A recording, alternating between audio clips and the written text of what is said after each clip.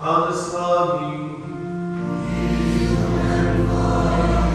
Niech was błogosławi Bóg Wszechmogący, Ojciec i Syn i Duch Święty.